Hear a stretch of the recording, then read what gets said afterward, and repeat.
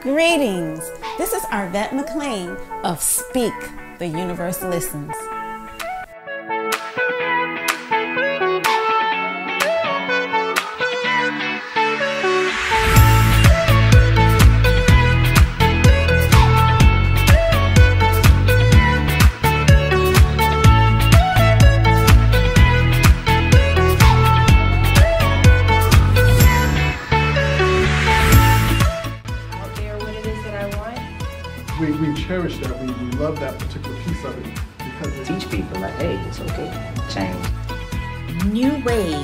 View age old challenges. Change your thoughts, change your life. Step into the bigness of you.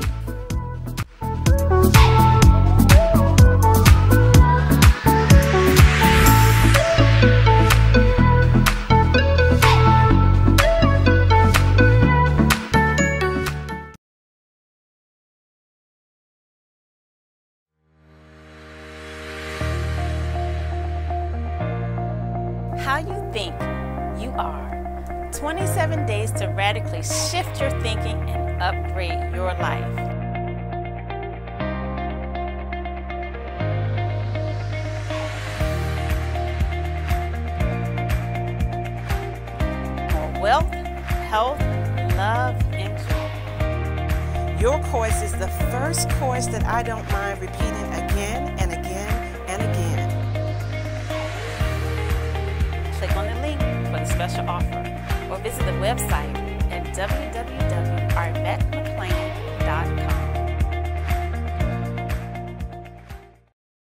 Greetings and welcome to today's episode of Speak the Universe Listens. And we are entering into the year 2021. Yes, 2021. And I am looking forward to a brand new year. Um, we don't know exactly how it's going to pan out because last year was a interesting one. Quite interesting. And so I'm thinking it can only go up from here. but today we want to talk about closing the gap between where you are and where you'd love to be. And so go ahead and pull out a piece of paper and pencil because um, we're going to do like a little exercise a little bit later in the show. So welcome, Stephen. Hey, how are you? I'm terrific. good, good. You glad good. to be in the new year? Ah, yes, yes. 2020 has been quite a uh, interesting year. Yes, very interesting. For me, it was like a, a time to just grow. It really was. I mean, you, you got to think on with the pandemic going on. A lot of people are at home, Mm-hmm. and so uh, a lot of us have a lot of time to self-reflect a little bit. Mm-hmm. Yeah. You know, and just see what it is that we can uh, possibly work on Mm-hmm. on ourselves. Uh, future goals Yeah. and um, so we had a lot of downtime to really uh, think yes, yes. And yeah, I, I felt for me, I felt like um, I was able to get away and just be in solitude right and just being in nature. And it just seemed like it just allowed just so much to flow into me and through me. Um, I just felt like I was just getting all this inspiration and all these wonderful bits of, I don't know, like wonderful wisdom was coming through me. so, talking about closing the gap between where we are and where we love to be. And um, I know you were talking a little bit about how powerful and important it is that we have the right thinking. right right if anything i would say um, especially coming from 2020 and we going into 2021 um, our thoughts like how we think um, about ourselves and about our future you know what is it that we uh, want for ourselves uh, going forward you know? And so with that thought process we really have to put ourselves in alignment with what it is that we really want. And so with all of this downtime that we had with the pandemic going on and um, i think uh, this was the perfect time to sit back and just reflect. So for myself you know i noticed um, there's a lot of things that i wanted to uh, do for an upcoming year coming up but also working on it in the present moment as well um, as far as uh, success wise um, business wise health wise and so i would tell anybody um, with the thinking process whatever it is that you're thinking about that you want for yourself moving forward, just make sure that you start applying the action to it. Now, of course, you can do baby steps if you need, if need to, but also what you're thinking about. Don't think about the what ifs, right? Don't think about, okay, well, you know, this is what I want, but I got to go through X, Y, Z. And I, I mean, and it's human nature to just think like that. So uh, I would tell anybody, um, don't think of the what ifs. Think of your think of it as more like preparing yourself for the success. Because when you prepare yourself for the success, all you're going to do is attract the success. Yeah. So I would say uh, that's one big thing uh, far as thinking wise Yeah. moving forward. So that's so interesting because um, we actually have a mission statement, and part of the mission statement is that we are um, redefining Right. common thinking. And so, talking about the what ifs, like when you growing up, or at least when I was growing up, that was what we were supposed to think about. Like, well, what if this, what if that? And so that you're prepared for those things. And I remember reading um, something where it was like, if you're preparing for the failure, then that's where your mind is on the failure. And so that particular weekend, I was um, supposed to be doing a 100 mile bike event. And that was my first time doing a 100 mile bike event. I mean, I had ridden 100 miles, but not in an event. Okay. And so um, I was like, oh my goodness, I guess I need to take spare tires, you know, spare inner tube. I got to get air pump Right. and get all this on my bicycle. And I was like, I didn't even think about that. And so that was the same weekend that I read where there's like, if you're preparing for the what ifs, then you're preparing for failure. And I was like, huh. you start thinking. Yeah, like what what am I supposed to do? Am I supposed to prepare in case I get a flat tire? or am I supposed to prepare for pure success? Right? Right. And so I was like, you know what? I'm just gonna roll with this. So I did not get the spare tire. I didn't do all that. I was like, I'm just gonna go out on faith Okay. and believe that this is gonna be a smooth sailing event or whatever. So that was like really my first time um, just not being in prepared mode for Okay. what could possibly happen. Gotcha, gotcha. I can say for myself, um, as far as like with my health wise, right? I wanted to change uh, change my diet, so I said, you know what, I want to go ahead and try this uh, seven day uh, vegan uh, diet, but instead of vegetarian. I, I like the cheese, but um, I tried the diet, and um, seven days went through.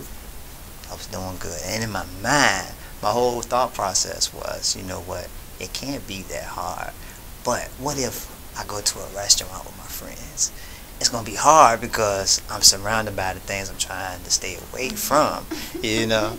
And so, uh, of course, I made a hiccup because of the simple fact I was thinking about what I didn't want, and of course, I went on ahead and let me get that steak and potatoes, and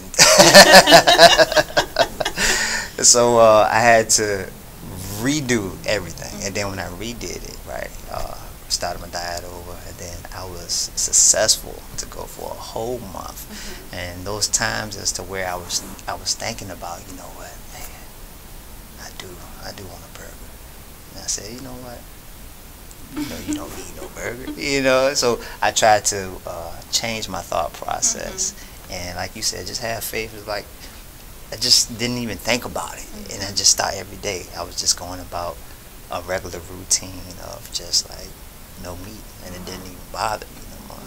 So, um, like when you said just having faith in what it is that you know that you want, everything is going to just align. But you just got to get yourself aligned with just taking the actions, you know, thought process, and every day just doing it. And then you will see how things will start to fall in play for you, even for success wise as well. Yeah, because we are powerful creators, and that's something that a lot of times we don't feel comfortable with saying that because we think that's taking some power away from like we're saying we're God or you know something like that. But if we're doing something wrong, we're quick to say I did that, right? Very true. but when Very we do something right, we don't give ourselves the same credit for it. Um, but we really are. We're powerful creators. We were gifted with, the power to create. And so um, the whole thing with like changing, redefining common thinking is that we think that we're small, and insignificant, and don't have power, but we really do. And so we start. Um, I mean, if you you know you can go through the you can go through any spiritual text, the Bible, the Quran, you know, the Torah, whatever. You will see all through it where it say that we have been gifted the power to create our realities. Um, and so I think with um, changing, you know, like I'm saying, do I prepare for the bike? Uh-huh. Tire to go flat? or do I create the situation Right. where the tire doesn't go flat? you will want to create the situation where it don't go flat, yeah. you know. And I think we just uh, a lot of the times we're so worried about the the we know what we want, but we're worried about the obstacles that we got to face. And when you think about uh, the things that you have to face, it's like okay, you want to prepare yourself for the worst, but when you're doing that, you fail to realize what you think about, you attract. So if you're thinking about, you know what, uh, what if things don't fall through the way that I want, the way that I want them to, you know, what am I going to do? And then the first thing we say is, well, ah, I'm gonna come up with Plan B. Well, now that you got Plan B, you already prepared yourself for, you know, for the worst. So, you know, in order to get out of that narrative of thinking, you just got to really sit back and say, you know what, I know, and and it just that's it. You know, I know, and put it out there. And as soon as you put it out there, just start to do it. And before you know it, hey, things will start to, you know, you'd be like, wow. Yeah. You know, they started playing out the way that you really want them to, but you prepared yourself for the success. And you didn't prepare, prepare yourself for the failure, you know. Yeah. And so uh, the gap between where we are and where we'd like to be, sometimes it can seem like it's a lot Right. in that gap. But really, the gap is an energetic gap. Mm. The gap is here. It's how we're perceiving the situation, it's how we're perceiving ourselves. And it's that, that energy field in the middle that Right. we have to You have to break it. move out the way, Get it out the change it, change that energetic gap. And so, exactly what you're saying about putting the energy on what you want, Mhm. seeing it, believing it as if it is now. Right. And so, the thing about people, humans, us, Right. is we have the power to create any emotion that we want to create at any time. Sure. And emotion is the thing that causes things to move. Emotion is energy in motion. And so, whatever our emotion is, that's what's causing energy to rearrange itself. And it rearranges to fit whatever our emotion is. And so, if we are in doubt, self doubt, if we're in, you know, have limiting beliefs, etc., mm-hmm. then the energy arranges itself like that. It's going to be obstacles. And so, closing that energetic gap is changing our emotion. And like oftentimes we think we have to go back in the past and, Right. you know, um, I'm this way because X, Y, Z. you know, such and such was mean to me. Yeah. you know, my mom was mean to me, or, you know, my teacher did this to me, or I Right. remember these bad boys at school, they did such a thing. And so we get stuck on that storyline.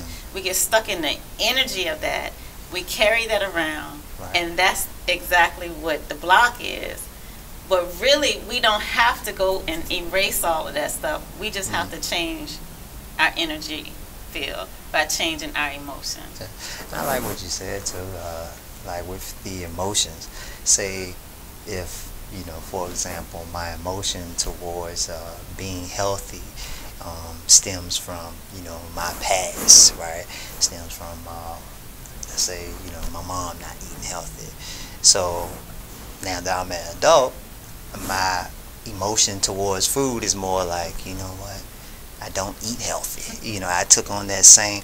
So for me to change that emotion about my diet, I have to go back and I have to evaluate what is it that made me feel that way? How what what in my past or in, in my storyline made me have that emotion as to where why I feel the way that I do now. So when we get aware of it, like, you know what? Okay. Now we have the opportunity to change it. So I think awareness is one one of the things is what you were talking about to in order for us to change that emotion. And and I do I agree. I do think that um, it's okay. It's nothing wrong with being Right. aware. But a lot of times when you become aware, then you start focusing on that energy. And so um, we don't have to become aware. We can just change the emotion. Because like it's so many things that we don't even know why we do such Very and true. such. and um, we don't even know that we're doing such and such. And so um, to say that we have to dig it all up before we can move forward, that's where we've been for the past, I guess, ever since Freud. You know, all our lives. yeah, all our lives. Um, but yeah, probably since 1940s, that's like kind of the way we think it has to be. Mhm. But with us redefining common thinking, um, what we're realizing is we don't have to dig it up. We can move forward from here and now because we can just decide this is the emotion I want to have, and then start practicing the emotion that you want to have. And so um, this is probably a good time to pull out that piece of paper because what I want you to do, we can just do one thing. Um, think of something that you want or that you want in your life or something that you want to show up in your life. And we'll, we'll use you as an example. Stephen, you can kind of walk through the exercise. So the first thing is just to think of something that you would love to see more of in your life, you would love to show up in your life or whatever. So what is something you would love? um, health wise. Mhm. You know, I really want to be in top notch shape. Yeah. So uh, that's one of the things that I never had, but I always wanted to have. Mhm. So uh, that's something that I want. Okay, and I hope you guys have identified something as well. Okay, so now the next question that I want you to answer is why do you want this thing? Why do you want good health? Well, uh, good health doesn't run in my family as much, so I don't want to be that individual as to where I'm in that exact same repeating the cycle. So um, I just want to sit back and make sure that I don't put myself in that cycle. So since I know what I want, start to do it and make it happen. And um, and notice what Stephen said. He's he talked about what he did not want, and that's typically what we do. We say what we don't want. So I'm gonna ask the same question again. I'm sure that you all say something similar. You say what you don't want. Say what you right? don't want. So it's almost like you're you're creating from a space of fear, creating from a space of lack. That's not the energy that we want to create from. We want to create from a space of abundance, from a space of knowledge, of, of surety, Right. of confidence. So ask yourself the same question. Why do you want what you want? Because it makes me feel good. hmm That's why I would want it. Mhm. yes, exactly. And so um, I don't, you know, give you all time to come up with why do you want what you want? Because a lot of times it takes a few cycles. It does. because you know you come up with something like you know well, I want to save the world. I, I, you know, Yeah. You know what I'm saying? got so much on your mind that you want. yeah. Right. So um, it might take you a couple of cycles, but what you want to get to is the feeling, right? So Stephen automatically jumped to, I want to feel happy.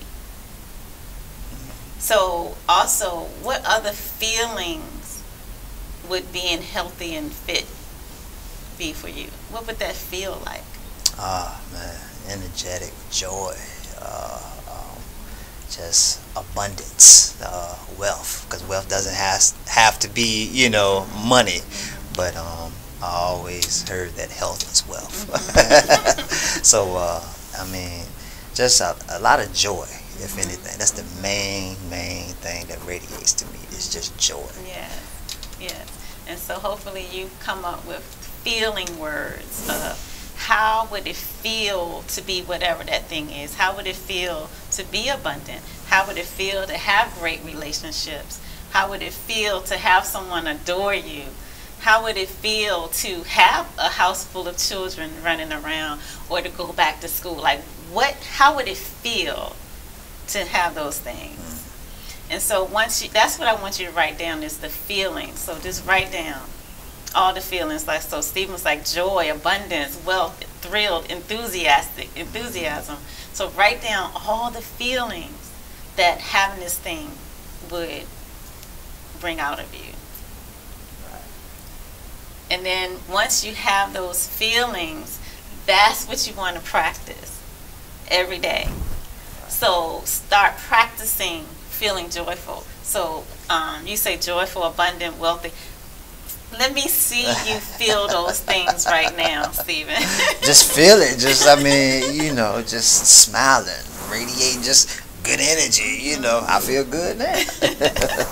For the most. But those that's uh, what you just said. Feeling it. Mm-hmm. You know, that's the biggest biggest step that we need to do because um, if we and we talked about it before. If you sit back and you already feel it and you know that you have it and you act as though you already have it before you have it don't worry about because it's gonna you're gonna have it you are you, Right. you're gonna have it Right. so As you, you, unfortunately, we don't get more of what we want. We get more of who we're being. correct So if we're being joyful every day, if we're being abundant every day, Right. and we don't have to wait for something on the outside of us to make this thing happen, mm-hmm. Um, we can practice it now. So if, um, let's say, if what you want to do is, you know, help thousands, millions of people around the world or whatever. You don't have to wait until you're able to do this. You can start helping someone right now today and and then enjoy it, love it. Um, you know, really feel it Yeah. you know just take the action to actually just start to do it you Yeah, know, and- now it right now, right now, Now. today. Don't let the day pass without doing exactly what it is that you absolutely love doing. And uh, I would say, if anything, um, I, I had a friend, matter of fact, um, recently, and they wanted to start a business. And the main, what we were just talking about, he's scared to fail. And I'm like, man, but you haven't tried yet. so, so go ahead and start now. Take the steps necessary to make it happen. Hey, you don't know until you start to do it, you know, until you start to do it. Yeah, and so like a lot of times, um, the common thinking is that to do whatever it is you want, you have to work hard, Mm. work hard, work hard, work hard. Um, but the work really is here. The work is an energetic work. The work is feeling the feeling that you want to feel. Feel it now. Feel it in your body. Right. Make it so real every single day. Just feel that. And like attracts like. You're going to attract to you the very thing that you're radiating out Right. from you every day. Wake up in the morning smiling. Wake up in the morning feeling grateful. I mean, inspired. You know what it is that you want to accomplish. So um, go ahead and just like just make it happen. And like she said, just don't wait. You know, it's no time to wait. You just go ahead and just start. Yeah. And just practice it. And even if everything doesn't look great in your life, and um, maybe there are things in your life that's, you know, maybe have, have you in a dark place. It's okay. You know, we all have different emotions, and there's times when you go through things. But still, carve out a portion of your day, even if it's just five or ten minutes, where you're taking time to feel those words that you just wrote down. So, Happy New Year to you. I'm looking forward to some great things coming your way this year. So, until next time, this is Arvat. And this is Steven. We'll talk to you later. Bye.